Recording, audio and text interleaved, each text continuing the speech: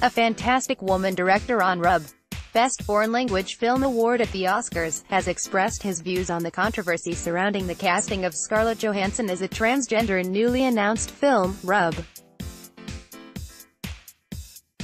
The Chilean filmmaker's movie, about a transgender woman whose life is turned upside down after the death of her older lover, featured trans actor Daniela Vega in the lead.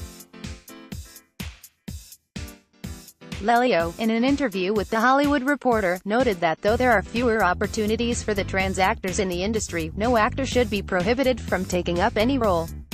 It's true that cultural representation has been scarce so far.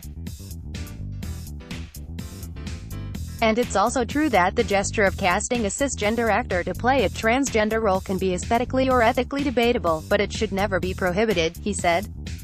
The 44-year-old director said that filmmaking decisions should only be taken in the context of artistic freedom and not as political correctness. When I decided to cast Daniela Vega to play Marina in A Fantastic Woman, it was an act of artistic freedom, not political correctness.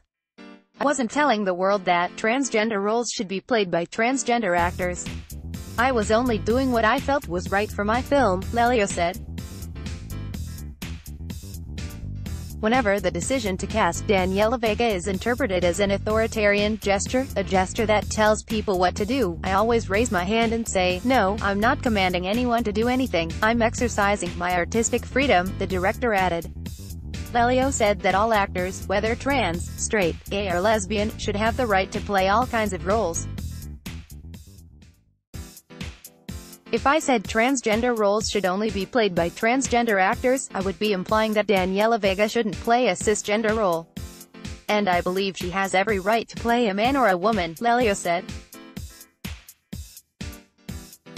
In the film, to be directed by Rupert Sanders, Johansson will portray Jean Marie Gill, who succeeded in Pittsburgh's 1970s and 1980s massage parlor and prostitution business by assuming the identity of a man, Dante Tex Gill.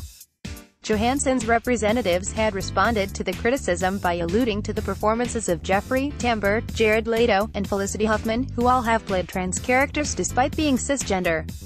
Updated date, July 6, 2018, 4.49 p.m. Tags